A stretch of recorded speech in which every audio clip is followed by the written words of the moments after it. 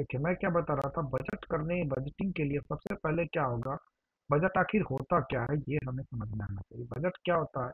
Suppose that हमारी company चलेगी तो हमने पहले से प्री डिसाइड कर लिया कि हमारा इस साल का बजट जो है, इतना इतना का प्रोडक्शन करना है ये दिस मच अमाउंट का हमें सैलरी बजटिंग करते हैं कि भाई, ये ये खर्चे आएँगे इस चीज़ें में।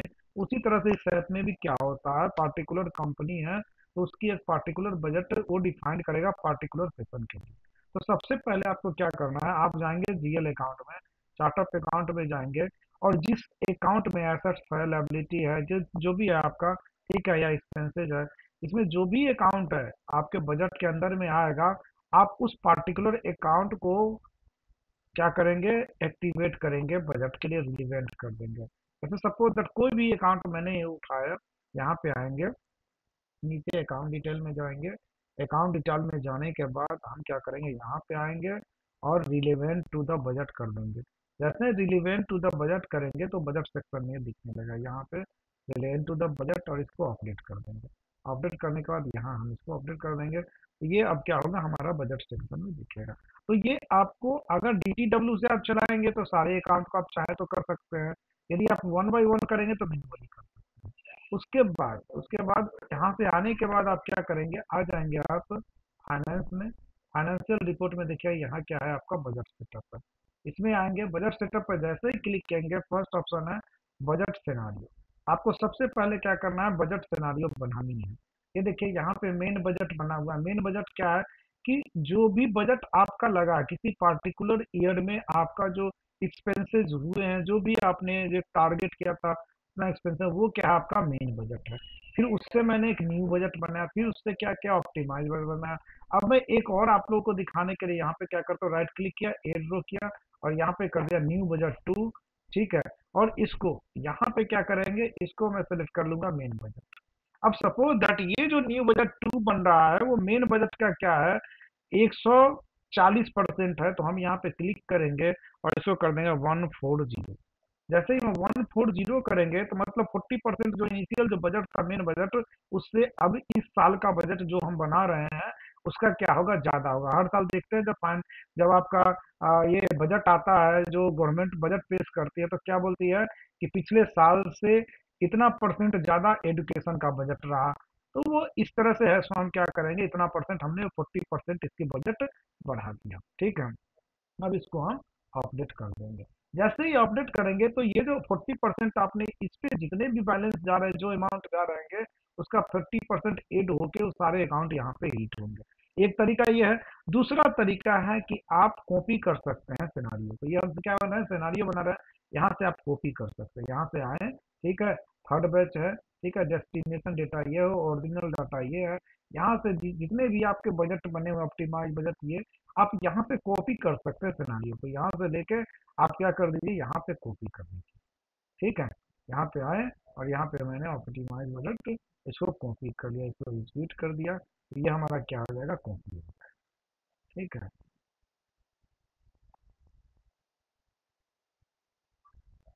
ये देखिए ऑपरेशन कंप्लीटेड सक्सेसफुल इस तरह से कॉपी हो जाएगा। तीसरा क्या तरीका है आप किसी और सपोज़ दैट आपके इस डेटाबेस में जो कंपनी है, वो ब्रांच जो है, तीन बने हुए हैं, ठीक है? आप किसी और ब्रांच से चाहते हैं कि बजट हम कॉपी करके लाए तो आप वो भी कर सकते हैं। यहाँ पे क्या करें चूज़ कंपनी कीजिए चूज़ कंपनी करेंगे तो देखिए, जितने भी ब्रांच मैंने बना रखे हैं, सारे ब्रांच आ गए। Suppose that Vinay private limited का जो बजट है, उसी को हमको यहाँ पे स्किट करना है, ठीक है? तो हम इससे कॉपी कर सकते हैं। या अंबिका एनर्जी है, इसका बजट हमें ले जाना है। तो यहाँ पे आए, इसको कॉपी इसको सिलेक्ट किया, यहाँ पे आईडी पासवर्ड डाल देंगे तो हमारा क्या हो जाएगा? आप वहाँ से ला सकते हैं। तो इस तरह से बजट सिनारियो आप बना सकते हैं। जो तीन तरीके बता दिया मेनली यही चलता है आपका। एक बार मेन बजट बन गया मेन बजट के बाद क्या है? या आप परसेंटेज वाइज बढ़ाएँगे, घटाएँगे, यही चलता है। इसको ओके किया ओके करने के बाद अब क्या करेंगे? बजट डिस्ट्रीब्यूशन करेंगे।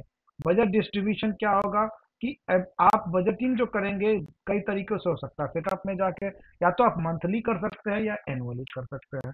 तो इसमें जो मैंने सेटअप कर रखा है, वो मंथली कर रखा है। इसीलिए देखिए वन ईयर में कितने होंगे? ट्वेल्व मंथ होंगे तो ये मंथली दिख रहा है। अब इसमें डिवीज़न क्या है कि जो बजट जो डिस्ट्रीब्यूट होगा, किस तरीके से होगा? तो देखिए, इसमें दिखा रखा है हमने कि फैक्टर जो है आपका, चल रहा है क्या? कि twelve eleven ten nine eight इस तरह से ये फैक्टर चल रहा है। फैक्टर लगा हुआ है इसमें। ठीक है?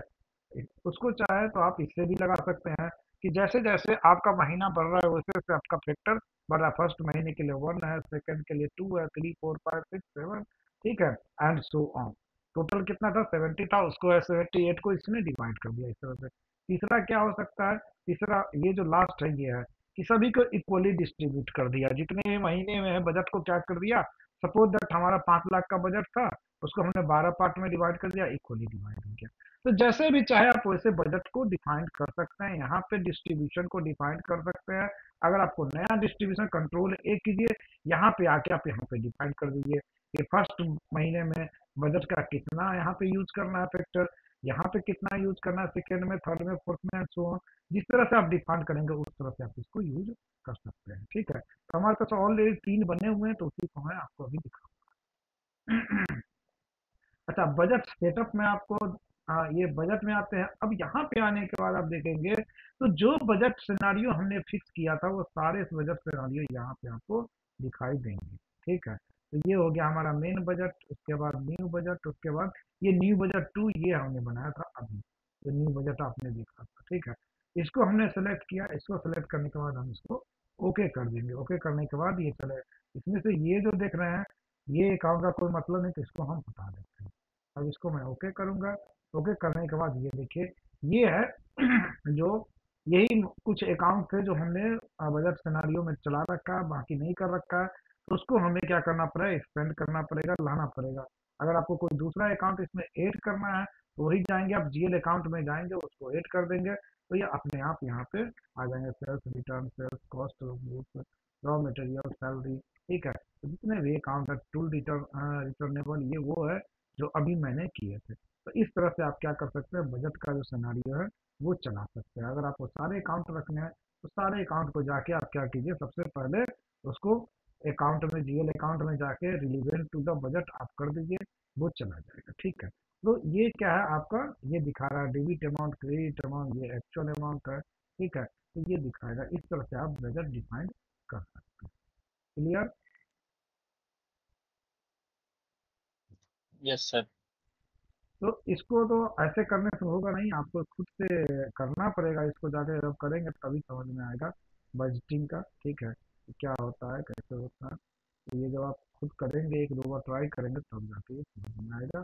तो ये अकाउंटिंग वाले के लिए जेनरली है, आप जो हम लोग हैं, उसके लिए नहीं, बल्कि मेन अकाउंट वाले जो होते हैं, उनके लिए होता है। मेन बजट देखेंगे तो ये मेन बजट है, इसको देखते हैं, ये देखिए, ये है मेन बजट ये कितना है? फ़र्स्ट में सेल्स अकाउंट में है four thousand six hundred thirty one main budget में। ठीक है, अब आते हैं हम लोग चलते हैं, जो हमने बाद में डिफाइन किया था ये। देखिए, ये बढ़ गया फोर्टी परसेंट बढ़ गया। एक्चुअल ये था, अब क्या हो गया? ये हो गया। अब इसका अगर फोर्टी परसेंट आप निकालेंगे तो ये वैल्यू आएगा। वन हंड्रेड फोर्टी परसेंट इसको। इसमें फोर्टी परसेंट निकाल के ऐड कर दीजिए तो ये वैल्यू ऑलमोस्ट ये आ जाएँगे। चार चौक सोलह मतलब अप्रॉक्सीमेटली यही आएँगे। आप निकाल के देख लीजिए, यही आएँगे। तो अपने आप को सिस्टम क्या कर दिया कैलकुलेट कर दिया फोर्टी परसेंट बढ़ा दिया। ठीक है? तो इस तरह से हम लोग बजटिंग करते हैं। ये हमारा बजट का केस है। क्लियर अब चलते हैं हम लोग। और क्या कर सकते हैं? एक चीज़ आपको बता दें इंटरनल रिकैलकुलेशन कैसे होता है?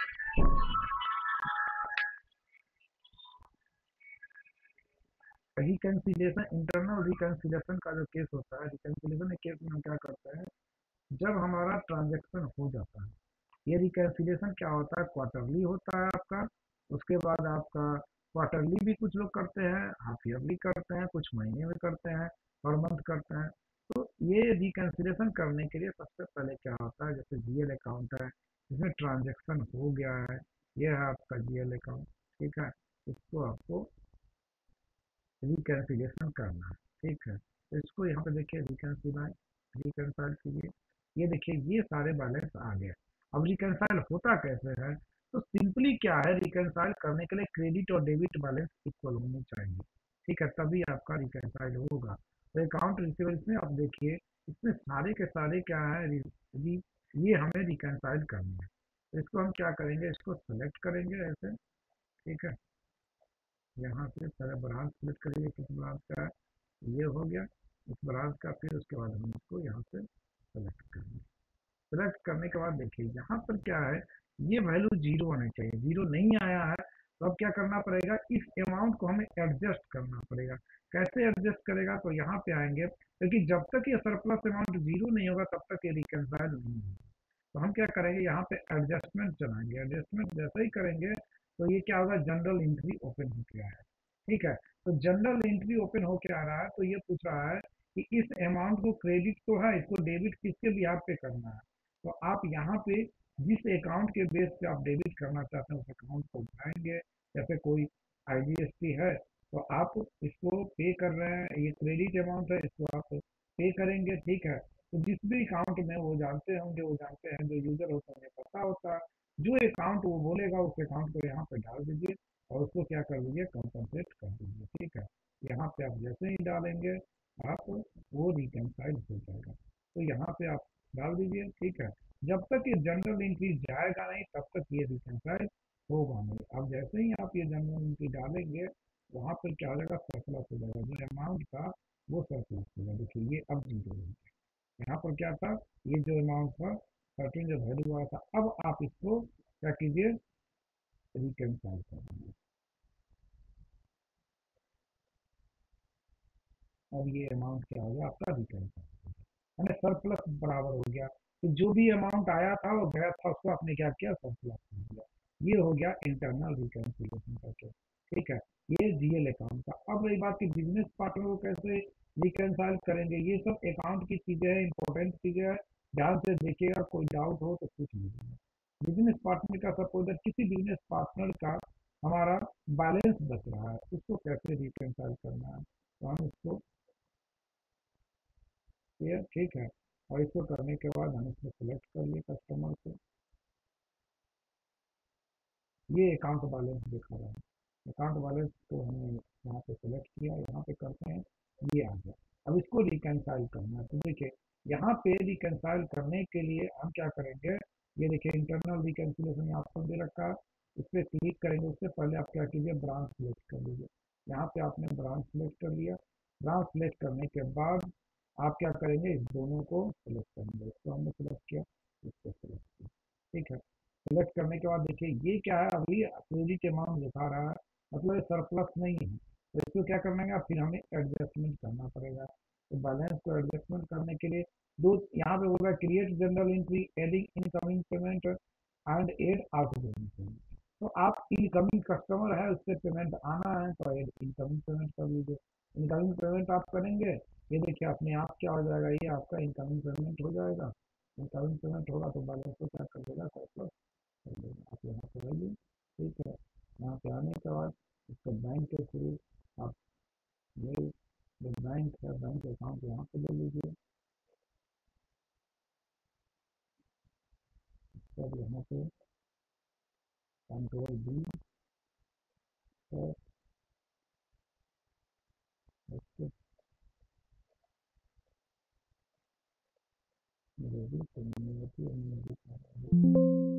नहीं लेगा नेगेटिव बैंक ट्रांसफ़र अमाउंट नहीं लेगा तो इसके लिए हमें क्या करना पड़ेगा? इसको जनरल एंट्री में मारनी इसमें नहीं जाएगा। तो इसके लिए अब आ जाते हैं, हम इसको एडजस्टमेंट करेंगे। विदाउट एडजस्टमेंट का तो चलेगा ना। क्रिएट जनरल एंट्री तो जनरल एंट्री हम उठा लेंगे। ये है। अब यहाँ पे हम बैंक अकाउंट उठा लेते हैं। ठीक है। ये बैंक अकाउंट उठा दिया। बैंक अकाउंट से क्या हो जाएगा आपका? ये आपका क्रेडिट हो गया ठीक है क्रेडिट होने के बाद आप इसको ऐड कर दीजिए ऐड कर देंगे तो ये आपका एडजस्टमेंट हो गया जैसे ही एडजस्ट हुआ ये ज़ीरो हो गया अब आप इसको तो ये क्या हो जाएगा आपका। फैसला तो इस तरह से क्या करेंगे हम लोग? जनरल अकाउंट रियल अकाउंट और बिज़नेस पार्टनर को रिकनसाइल करते हैं। ठीक है? तो इस तरह से बैलेंस हम रिकनसाइल करते हैं। इसके रिगार्डिंग कोई क्वेश्चन है तो